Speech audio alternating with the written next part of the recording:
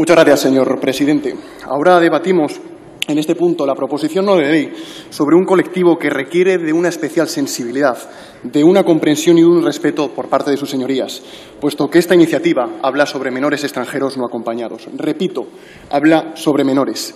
Esta proposición tiene como fin conseguir una mayor coordinación entre las diferentes administraciones públicas competentes en esta materia, pero también combatir el creciente odio, discurso de odio, perdón, dirigido contra estos menores.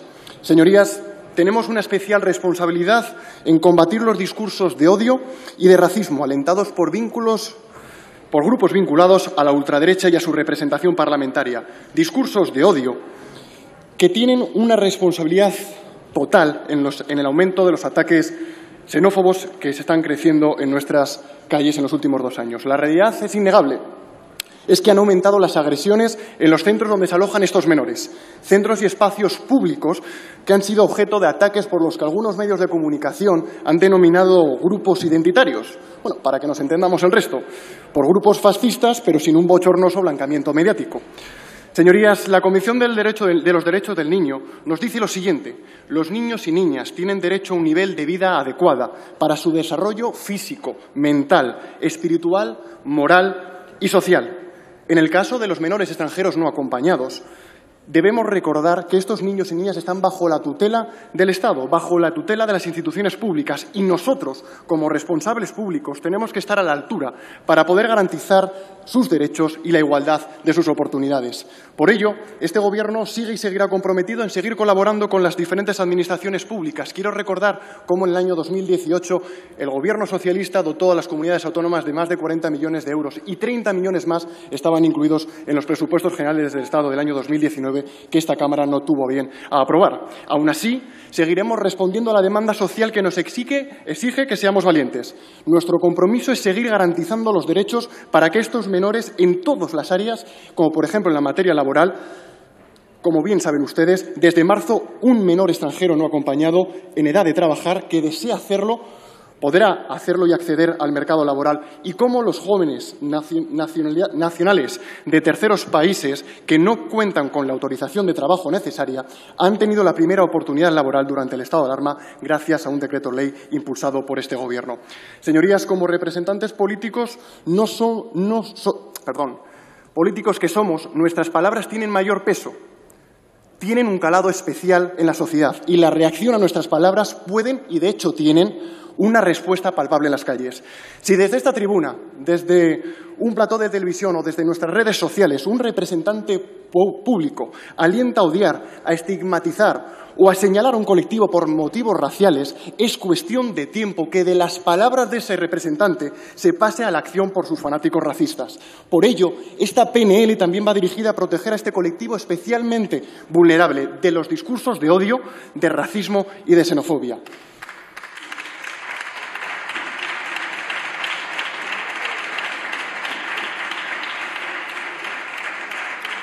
La política, tal y como la entiende la izquierda, es una herramienta que puede resolver los problemas de la ciudadanía, pero su uso torticero no solamente no puede resolver los, problemas reales de la gente, sino que se puede utilizar de forma deliberada para infectar el imaginario colectivo con tensión, con odio y con rencor. Señorías, hemos podido escuchar discursos negacionistas del cambio climático, negando la violencia machista. Hemos sido testigos de discursos vergonzantes contra la comunidad LGTBI y también de discursos cargados de odio y de fanatismo contra la comunidad migrante en España. Y los niños y niñas migrantes tampoco se han librado de ser estigmatizados y posteriormente atacados.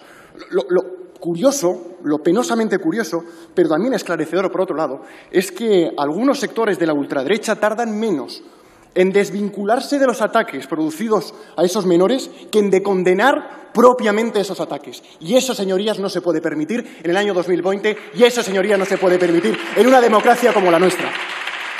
Y ya saben, excusatio non petita, acusatio manifiesta. Que tengan bien claro una cosa, este país se defiende en su solidaridad, en su diversidad y en su afán de sumar para llegar juntos más lejos, no para que los mismos pocos de siempre lleguen antes que el resto. Los racistas que pretendan defender a nuestro país agrediendo a estos menores deben saber una cosa, que no hay valentía ni orgullo patrio en atacar a un menor que no tiene más patria que su propio presente.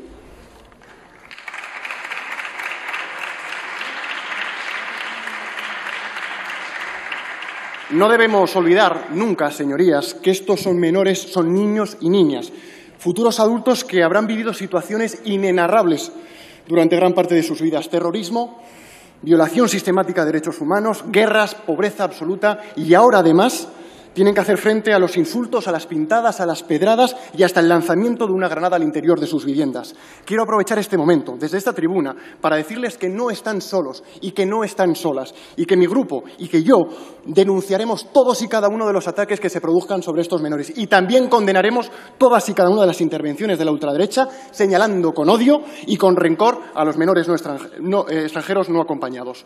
Para ir finalizando, señorías, pertenezco a una generación que ha llegado a los 30 se ha tenido que enfrentar a dos crisis eh, económicas fortísimas. De la primera aún nos estábamos levantando, con esfuerzo y dedicación. Ahora nos vamos a enfrentar a esta segunda crisis sabiendo cuál es la solución del fascismo. Pasa por el enfrentamiento entre las personas, por la criminalización de los colectivos más vulnerables y por tratar de utilizar nuestras banderas para dividir en vez de para unir en nuestra diversidad. Antes de intentar inundar las calles con su xenofobia, piensen que nuestros hijos, que nuestras hijas, que nuestros hermanos y con nuestras hermanas sueñan con lo que quieren ser de mayor dónde quieren viajar o dónde quieren vivir. Y que estos menores inmigrantes sueñan, en su mejor de sus casos, con vivir sin miedo, en paz y con el legítimo sueño de poder desarrollar un proyecto vital con dignidad. Una dignidad que ha de ser inherente a todos y todas, independientemente de cómo seamos y de cómo hayamos llegado. Termino, señor presidente.